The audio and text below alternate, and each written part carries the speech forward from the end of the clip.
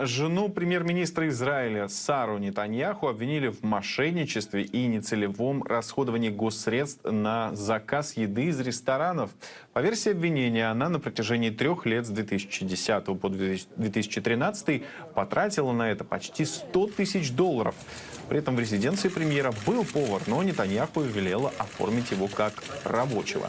По версии обвинения, так она пыталась обойти правила, которые запрещают иметь повара и в то же время заказывать в резиденцию премьера еду. Адвокаты жены премьера уже заявили, что она не знала об этом законе и назвали обвинения абсурдными.